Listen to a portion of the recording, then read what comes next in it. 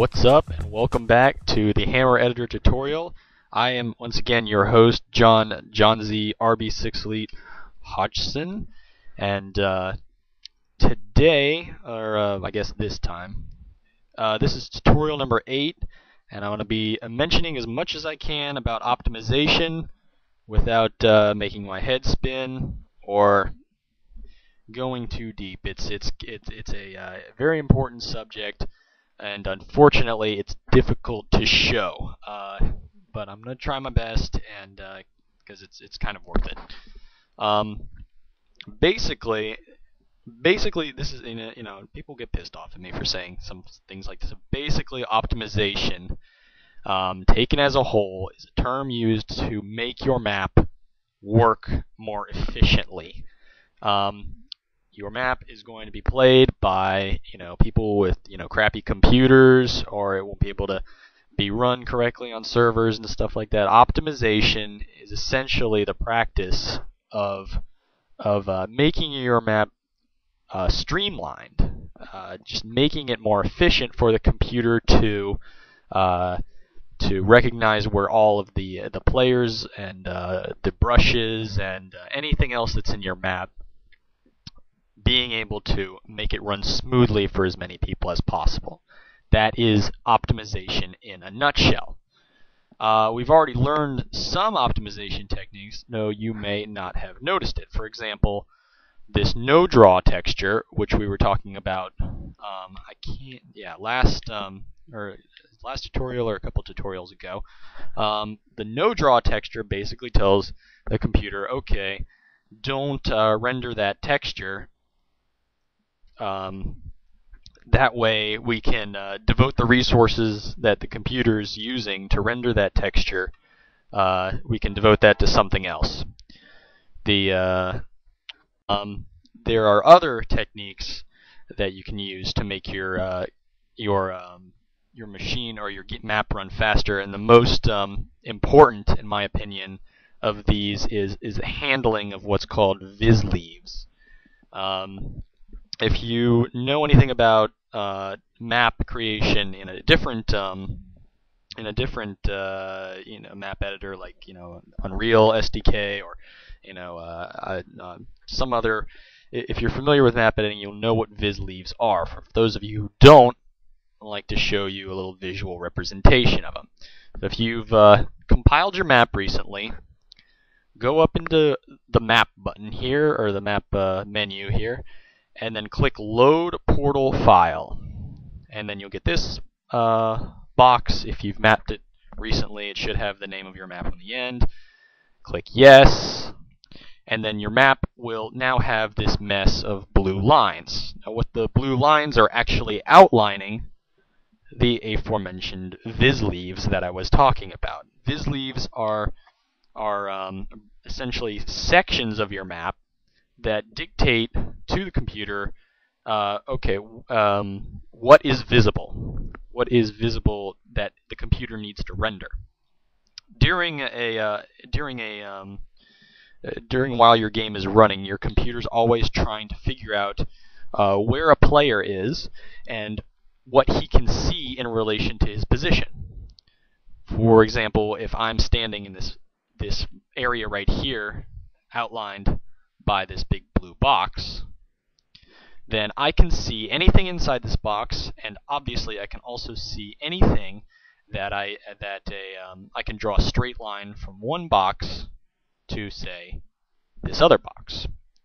It would be kind of silly if the computer just recognized my vision to be confined only to this box, and then the one right next to me didn't uh, it didn't render at all. Nothing in there would be um, would be rendered if I had a, like a prop in there um, I'm just going to leave it blank for right now. But if I had a prop in there, um, it will, the way that it's set up right now is even though it's in a different visleaf, even though it's in a different box, I can see it because I can draw a straight line from this box to this box. And more importantly, if I cannot draw a straight line from one place to another, for example, if I cannot draw a straight line without passing through some brushes from where I was, to say over here into this box, then that means anything inside this box this prop and this prop, for example, will not be rendered. So I, my computer is essentially um, is essentially uh, you know cutting down on the number of things that it needs to show or it needs to show to the screen, you know, without actually um, without um, you know making things invisible where they don't need to be. That all is taken care of by your compiler, but sometimes you need to lay down the law, so to speak, in order to make the visleaves make sense. For example, I've made some stairs over here.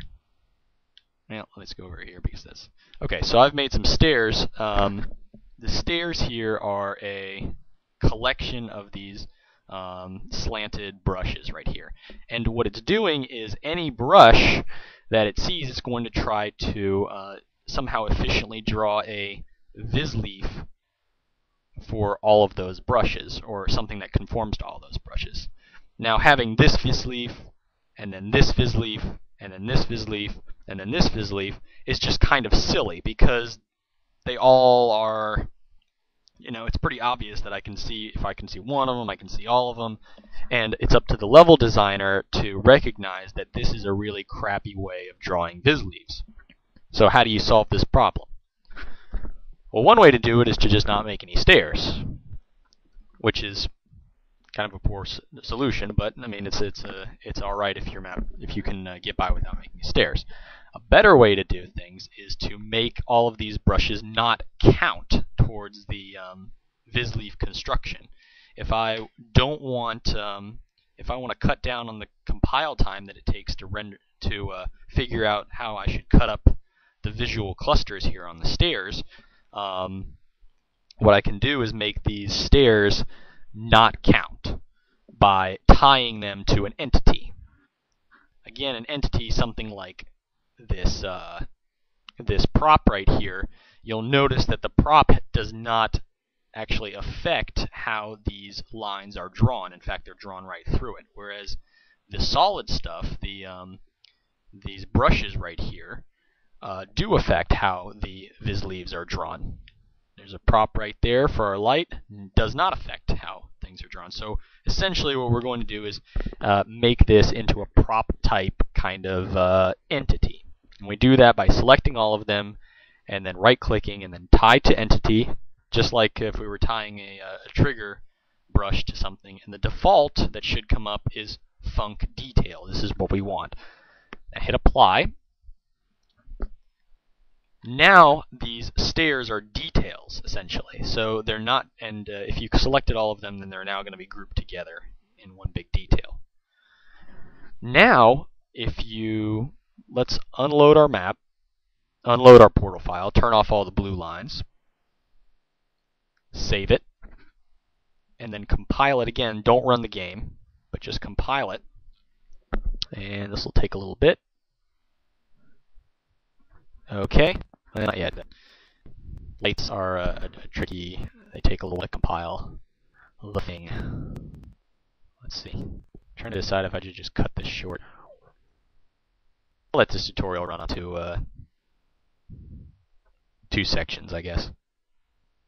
It's important enough. Okay, so we're done compiling.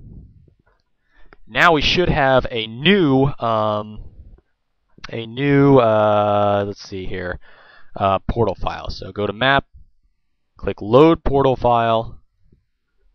It'll have a new default portal file, click yes, and now look what happens. All of those um, those boxes that were drawn uh, for that visleaf are now gone, and we only have one.